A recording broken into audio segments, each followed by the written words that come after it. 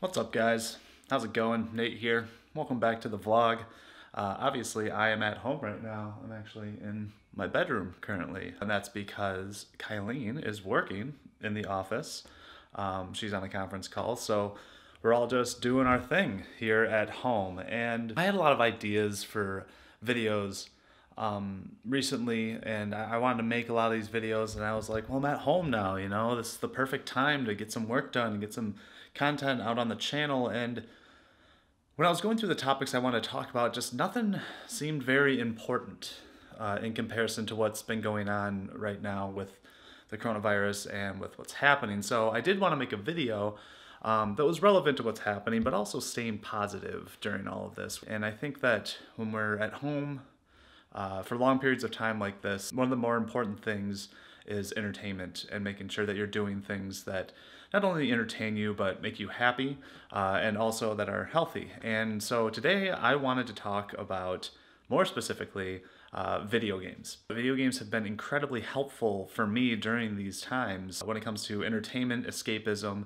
and just overall generally being happy. So today I thought I'd talk to you about video games, the importance uh, they play in my life, but in other people's lives. Uh, I think that we don't actually realize how important video games are for people right now. Playing games online, uh, it's a really great way to communicate, interact with other people while staying at home. That's what I thought would be a good thing to talk about on a positive note of what we're doing here at home. So let's get into it.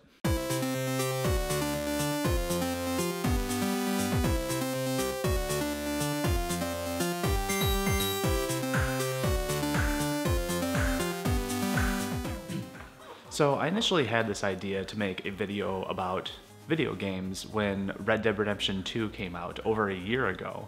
And I was really excited about that game and I sort of wanted to examine my excitement about video games and what role they played in my life. And then a lot of time passed and I never made the video and eventually I just thought it was too late to make it. But I want to revisit this topic because of how much video games have helped me, not only during this current crisis that we're in, but just overall generally in my life. So as long as I can remember, video games have been a main hobby in my life and the first thing I can remember about video games was in second grade when I played E.T. on Atari. And although to this day I'm pretty sure that is the worst game ever made, it still fascinated me as a kid.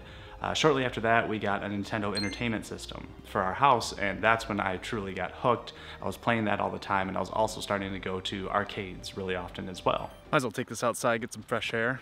Don't worry in my complex, distancing myself. So one time, my brother and I get home from school, and there it is, right next to the television, a Super Nintendo Entertainment System. My brother and I freaked out. We had no idea what was going on, so we ran up to my mom and we were like, whose is this? And she's like, it's yours. And we said, it's not our birthdays. It's not even the holidays. Why, why did, why do we have this now? And she's like, because I just knew it would make you guys happy. Shout out to my mom, by the way. That was the coolest thing ever like the most memorably coolest thing anyone's ever done. Needless to say, this perpetuated my brother and myself's love for video games even more. We still play video games together online. Flash forward a couple years later, my dad on the weekends would have the side job where he would go and cut down dead trees out of people's yards or tree removal, stump removal, things like that. And I would go and help him. And he hired me to haul brush. So I would just take these huge bundles of brush and just drag them into the truck and lift them up. And the whole reason I was doing that this summer was so I could buy a Game Boy Color for myself. It had just come out. I couldn't believe it. A portable system that's color. I was freaking out about it, so I worked my ass off all summer long. And the whole time I was just thinking, just keep working, Nate. You can do it. Pretty soon you're gonna be playing Wario World in color. And after it was all said and done with, I went out and I purchased that Game Boy Color with my own hard-earned money. And that whole scenario taught me work ethic. It taught me to work for what you want, and if you strive for it, you can achieve it. It was these small little lessons, but still, video games. All I wanted was video games.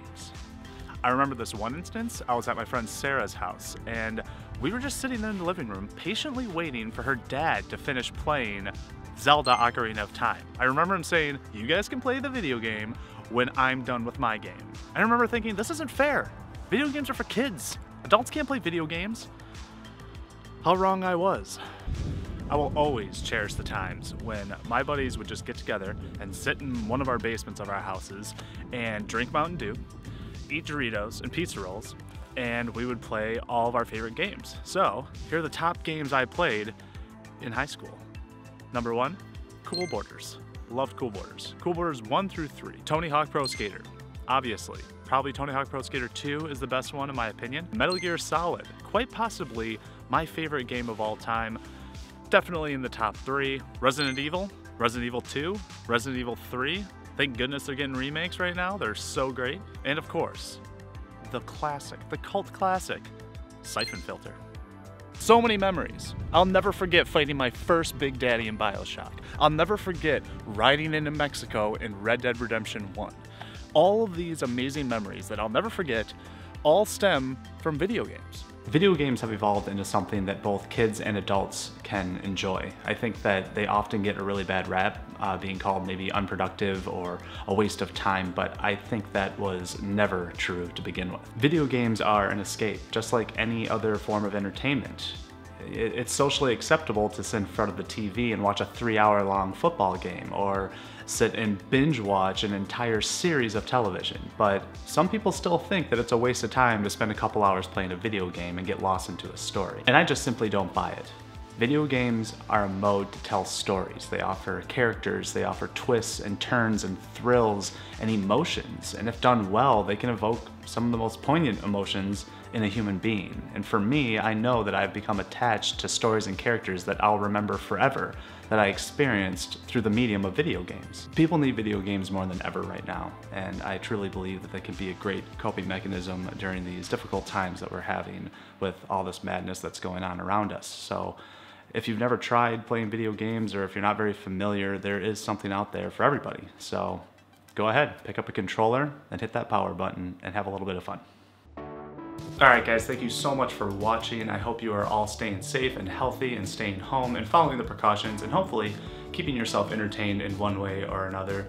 Uh, I want to know about all the video games you are playing right now though, if you are playing, and I also want to know what are your favorite video games. Let's start a little comment section discussion going on down there. I'd really appreciate it. Also, if you want to show a little support for the channel, I'd love you to hit that like button and subscribe. Of course, every little bit helps.